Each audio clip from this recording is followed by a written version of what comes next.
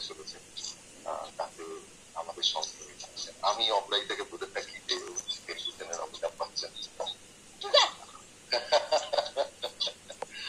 অপরাজিতা আমার খুব খুব ভালো আমরা একসাথে অনেক দিন ইন্ডাস্ট্রিতে প্রায় থেকে কাজ শুরু করেছি উদ্যোগে আমরা একসাথে কাজ করেছি তারপরে আমরা রোজ একসাথে কাজ করেছি দেন সব থেকে বড় জিনিস আমাদের সিনেমাও আমরা একসাথে করেছি কাজে আমাদের বন্ধুদের সঙ্গে অপরাজিতার একটা সম্পর্ক রয়েছে আমাদের এই শোতে অনুষ্ঠানে অপরাজিতার সঙ্গে রয়েছে রক্তিম রক্তিম গোপাল, আপনারা তোকে এই শোতে একটা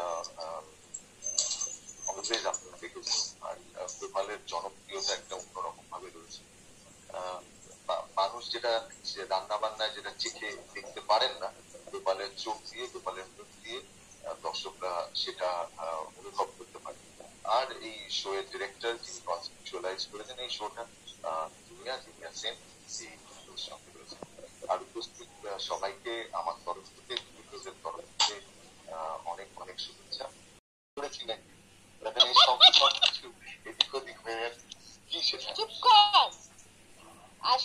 ব্যাপার যেটা হচ্ছে যে আমি লকডাউনের পর থেকে চোদ্দ তারিখ লাস্ট শুটিং করছিলাম ফোরটিন্থ মার্চ ফোরটিন্থ মার্চের পর থেকে একশো দিনের ওপর বাড়ি থেকে বেরোয়নি একশো দিন বেশি বাড়ি থেকে বেরোয়নি তো আমার একটা স্বভাব আছে, আমি যে জায়গায় থাকি সেই জায়গার মতো হয়ে যাই। এবার এই যে একশো দিন বাড়ি থেকে বেরোইনি আমি, আমার একটা বাড়িতে থাকার অভ্যেস তৈরি হয়ে গেছে। এবার আমি এত রকম শুনছি, আমার বাড়িতে বয়স্ক মানুষরা আছেন, আমার বাড়িতে বাচ্চা আছে, আমরা এতজন একসাথে থাকি। তো আমি এখন যে এই অবস্থায় কাজ করব, এটা খুবই ভয় পাচ্ছিলাম।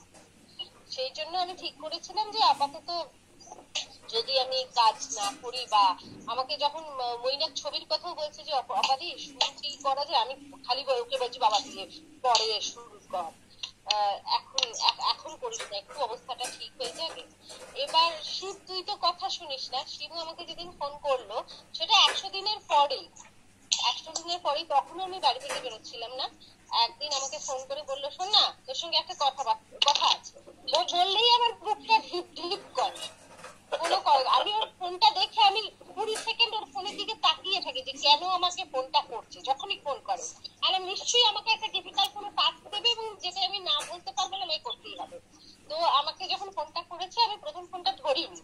তারপরেই আমি ফোনটা করেছি আলাম কি হয়েছে? শোন আর কথা আছে তোর সঙ্গে। আলাম বল, এই রান্না বান্নাটা না তোকে করতে হবে। আলাম মানে? না মানে টানি জানি না। মানে আবার কি? রান্না বান্নাটা তোকে করতে হবে। আনলাম দেখ, আমি তো এখন শুটিং করছি শুটিং করছিস না কেন শুটিং করছিস না শুটিং করলে কি হবে আনলাম না মানে এখন তো না না না না ওসব কথা শুনতে যাই না তোকে রান্না বান্নাটা করতে হবে তোর সঙ্গে আমার কথা আছে আমি বললাম আমাকে একটু ভাবতে এখনই বলছিস করতে হবে, আমি এই মুহূর্তে তোকে কি করে বলব? না ভাবতে কতক্ষণ সময় নিবি, এক ঘণ্টা, দু ঘণ্টা, তিন ঘণ্টা? আইলাম না, কালকে বলছি। কালকে কখন ফোন করবি? সকাল আটটা এলাম আটটায় আমি ঘুম থেকে উঠি না তাহলে কখন বলবি বল আমি বললাম আমি পুজো টুজো করে দুটো নাগাদ তোকে ফোন করব কাজ না দুটো অনেক বেশি হয়ে যাবে তুই কখন জানাবি বল আমি তারপর বললাম ঠিক আছে আমি তোকে এগারোটায় ফোন করছি সেই রাতটা আমার ভালো করে ঘুম হয়নি পরের দিন সকাল এগারোটায় উঠে আমি ওকে বললাম যে ও তখন শুটিং এ ছিল আমি দেখলাম ওর সঙ্গে কথা বলে লাভ নেই ও একটা কথাই শুনে তোকে সোনা করতে হবে আমি কোনো কথা শুনতে চাই না। এই দুটোর বাইরে কোনো কথা জানে না। আমি বললাম তুই জিনিয়াকে ফোনটা দে।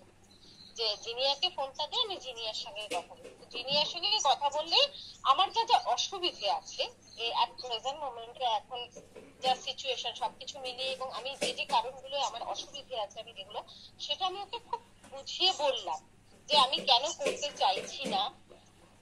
তো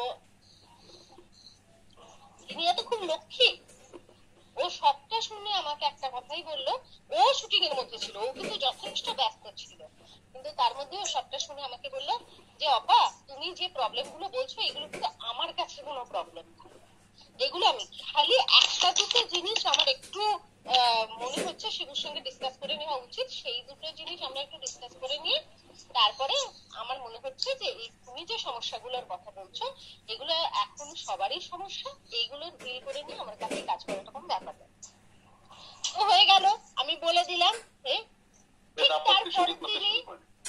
না মোটেই না তার পরের দিন সুপ্রিয়র ফোন আর তখন আমি হ্যাঁ সুপ্রিয় ফোনটা অন করেছি দেখছি সুপ্রিয় ফোন করছে সঙ্গে সঙ্গে পরিস্থিতির মধ্যে সবাই আছি তার মধ্যে কিছু মানুষ হয়তো মানে অনেক কিছু ফেস করেছেন যেটা আমার মনে হয়েছে যে দর্শকদের ও জানা উচিত। যে কারণে আমাদের কিছু মানে এই সিজনে আমরা কিছু কোভিড ওয়ারিয়ার আমাদের পার্টিসিপেট করেছেন এবং তাদের রিয়েল লাইফের মানে গল্পগুলো শুনলে না সত্যি কান্না পেয়ে যাবে। অপাও কেঁদেছে আমরাও পিসিআর এ কেঁদেছি। আমাদের পুরো শুটিং ফ্লোরে প্রচুর মানুষ কেঁদে। ফেলেছে। এমন আমরা শুনেছি। তো মানে একটুখানি রুলটা আমরা মানে একটু মানে ফরম্যাটটা আমরা করেছি। আগে হয়তো আমাদের পার্টিসিপেন্ট একজন হতেন।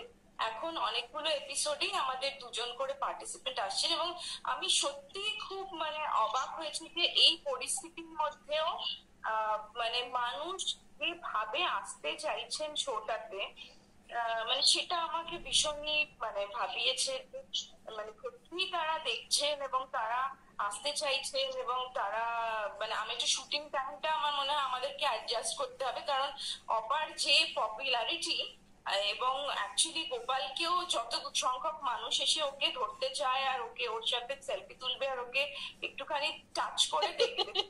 আর মানে অপার সাথে যত মানুষ সেলফি তুলতে চায় মানে সব মানে পাগল হয়ে যায় পুরো প্রপারলি লাইন লেগে যায় একটা সেলফি তোলার। তা আমরা ভেবেছি যে আমরা এপিসোড গুলোকে যতটা কনসাইজ করব শুটিং ডিরেক্টোরিয়ালি যতটা আমরা পারফেকশনের জায়গায় যেতে পারব আমরা ওই সময়টা মানুষকে দেবো যে আপনারা এসে নিশ্চয়ই ছবি তুলবেন আর নিশ্চয়ই গোপালকে ছবি আর অপাকে না ছুঁয়ে ওকে দেখে ওর হাসিটা শুনে ওর ছবিটা তুলবে সেটাই আমার